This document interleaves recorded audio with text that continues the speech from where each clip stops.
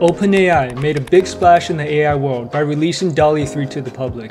I tested it out to see what all the hype was about, and to be honest, I think DALL-E 3 is overrated. And I'll cover why, just like its predecessor, DALL-E 2, it won't be overtaking state-of-the-art image generators like Midjourney anytime soon.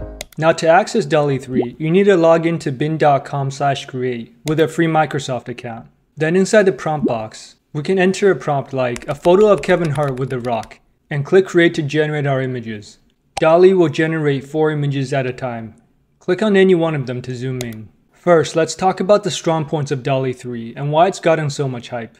It's amazing at natural language understanding that's objectively superior to Midjourney. These photos clearly match what we asked for in the prompt. It preserves the identity of both Kevin Hart and The Rock. Try the same thing in Midjourney, and we get a fusion of the two actors that looks like neither of them individually. Now, there's ways to get around this with the pan and inpainting features in Midjourney, but DALL-E 3 comes out on top here. Here's another comparison prompting for Batman fighting Spider-Man.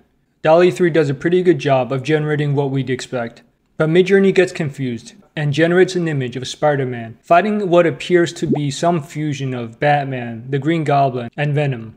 Another reason for the hype of DALL-E 3 is the ability to generate text and images. Let's ask for Pikachu holding a sign with a text saying, don't pet me.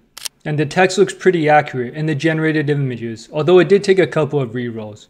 It can also do graphic designs like this graffiti style logo with the words never back down. Images with longer text messages can also be made, although upon closer inspection, it appears that it has a hard time getting all the letters correct for longer phrases. It also only works for English. I tried to generate a photo of a man wearing a t-shirt saying J'aime Paris, which means I love Paris in French. And it just doesn't work. DALL-E has no idea what I'm talking about. Compare that to Ideogram, which is a free alternative image generator, and the images are generated in French with no problem. Let's talk about features. In the current version of DALL-E 3, you can prompt for images by entering a prompt. And that's it.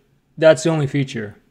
I would say that it's still in beta, so hopefully a variety of features will be added in the future. But DALL-E 2 wasn't exactly feature rich either. You can't change the aspect ratio like in Midjourney, so you can only generate square images. Here's an image I generated asking for full body shot, photo of a woman in New York, natural lighting 35mm. As far as I can tell, it has a hard time generating the full body in these photographs. That's typical of other image generators, but in Midjourney, you can use the pan feature to extend the bottom of the image and generate the full body just like you want.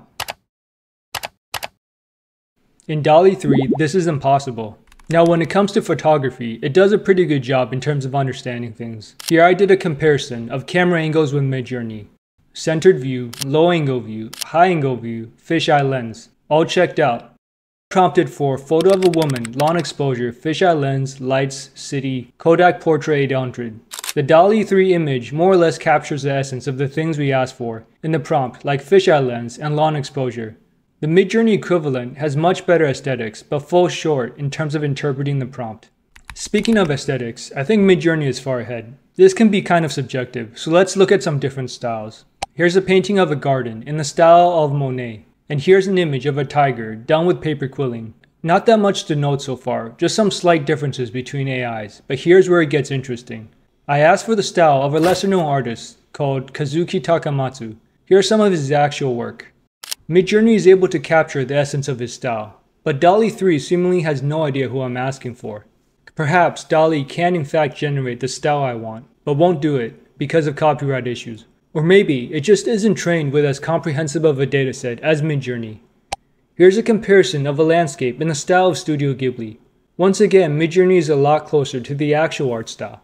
Now when I heard DALL-E 3 would be integrated with ChatGPT, I got very excited at the possibility of leveraging a massive language model with an image generator. One possibility I was especially interested in was generating consistent characters.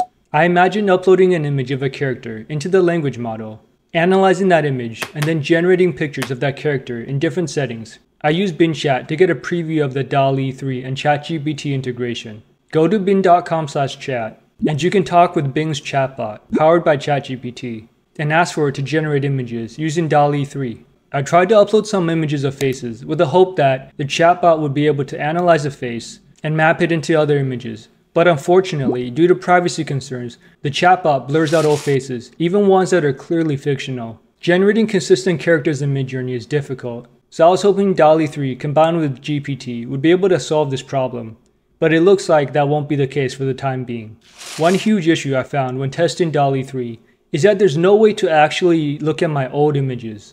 If you look on the sidebar in the Create tab, your recent images are there, but there's no way to actually access or search for the entirety of your previously generated images. Maybe this is due to storage concerns, but it's a huge inconvenience, especially if you're serious about generating a lot of images. So hopefully they'll fix this at some point.